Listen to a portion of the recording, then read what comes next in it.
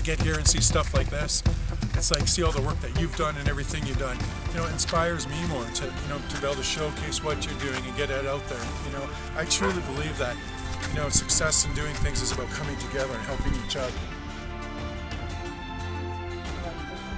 Mm, that smells good. Why does he smell so good? That's our oldest. That's just how Really? yeah. We're like, really?